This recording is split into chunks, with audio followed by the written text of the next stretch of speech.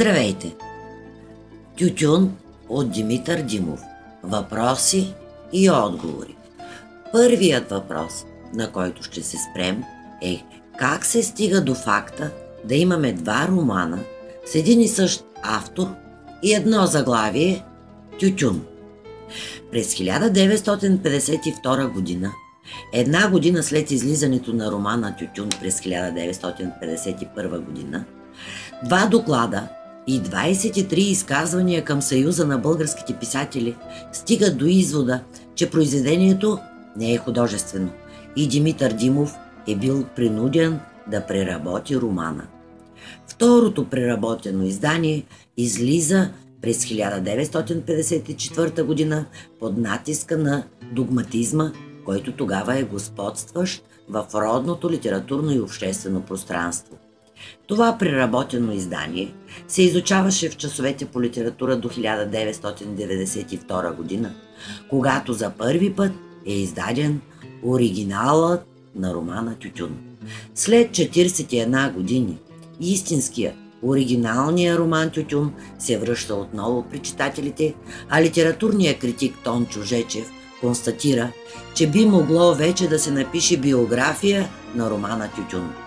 Книгата си запазва привилегията да бъде най-дискутираната в новата българска литература. Вторият въпрос, на който ще се спреме, на колко романа е автор Димитър Димов. Романът Тютюн от 1951 година е повествование за сложна любов по време на драматични исторически събития по време на Втората световна война. Авторът е професор по ветеринарна медицина, но не създава нито един анималистичен разказ, а животинския свят отсъства напълно дори и в пейзажите в романите му.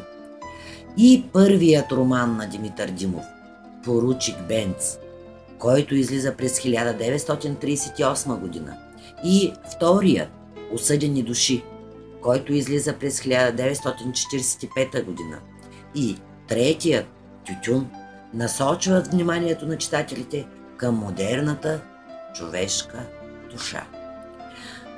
Трети въпрос. Защо Тютюн е роман за сбъднатите мечти, които могат да ни направят нещастни?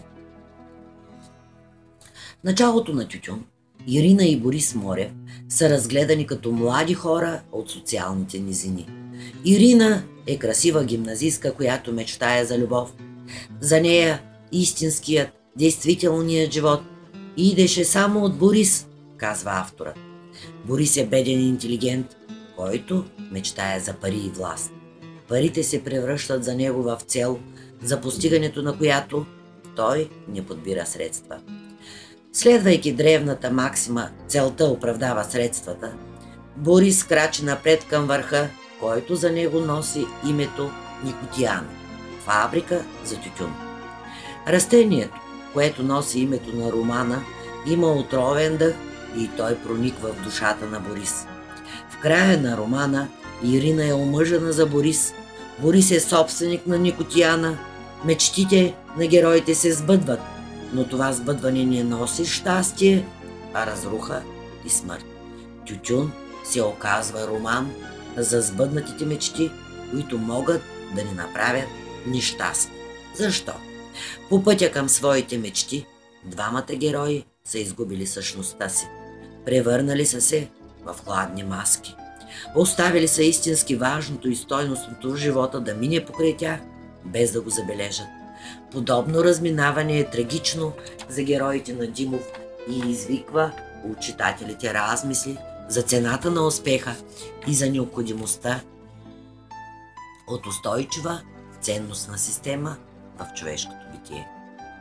Героите на Димов не са добри, не са лоши и духовният човешки портрет не може да се нарисува само с черно и бяло. Само ако се нарисуват всички нюанси, този портрет ще е пълен, завършен и цялостен.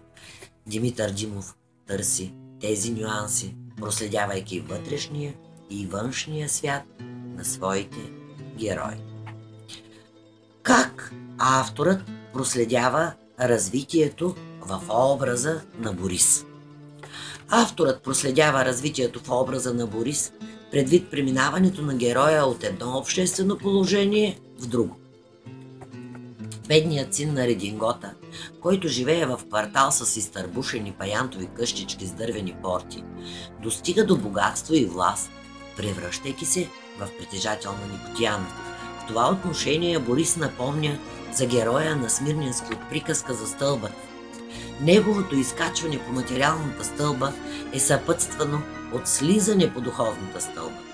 За постигане на целта си Борис, вече казахме, използва неморални средства. Бедността, изпълненото с лишение битие, отправя в различни посоки тримата сина на Ридингота – Павел, Стефан и Борис. За разлика от братята си, Павел и Стефан, Борис мрази не мизерията въобще, а собствената си бедност. Ирина осъзнава това още след първите си срещи с него. Димитър Димов казва – и тогава Ирина пак съзна това, което беше почувствала през ония есенен следобед, че той не беше още нито подъл, нито алчен, нито развратен в обикновения смисъл на думата, а само човек, ожесточен от бедността и тикнат от нея към Никотияна. Оказва се, че омразата към бедността може да роди амбиция и стремежи, които да се превърнат в егоизъм и безогледно изкачване на всички стъпала към върха. В същото време Борис губи човешките си качества, достоинството и съвестта си, за да завърши живота си като никому ненужна вещ. На върха на материалното благополучие и на дъното на духовната бедност.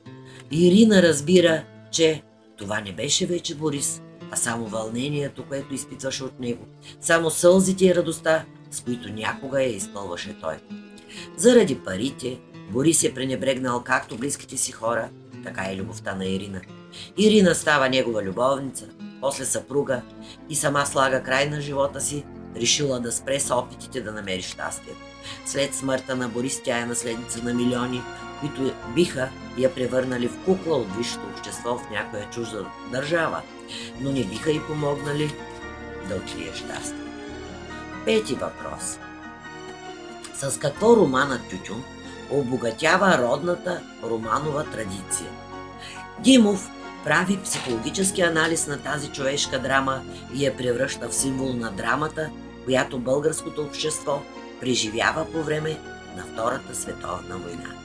Той проследява провинциалния живот на тютюноработниците, на Софийския хайлайф, гръцките брегове. Въведен е образът на гръцкия тютюнев магнат Кандоянис, на нацисти, участващи в международния тютюнев бизнес. Такъв е образът на фон Гайер. Така, описвайки всички слоеве, Димов преодолява фамилната затвореност в композицията на българския роман. Действието вече не протича под един покрив, и не следи историята на едно семейство, както е в романите на Димитър Талев. Къщата, къра или нивата и кръчмата, трите К, които са основни пространствени ориентири до този момент в родната литература, се оказват тесни рамки за Димов.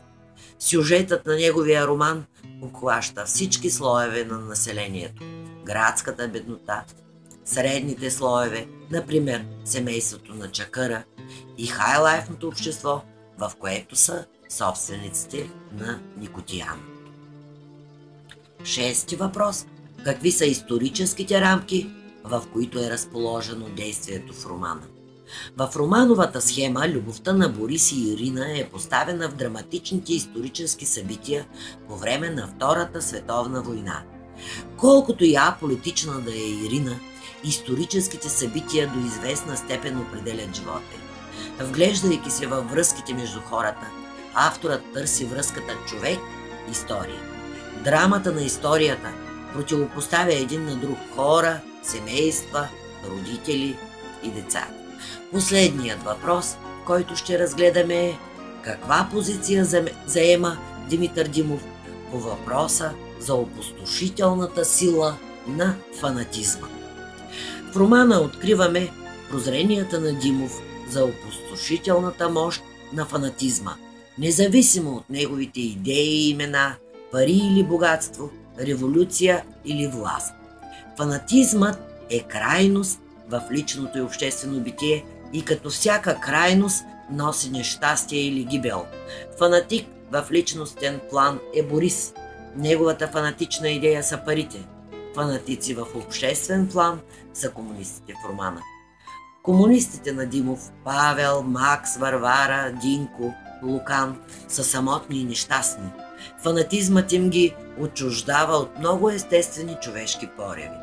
Димитър Димов отрича фанатичното следване на цели идеи. Творецът осъзнава преходността на всичко в нашия свят и това е същността на неговата жизнена философия.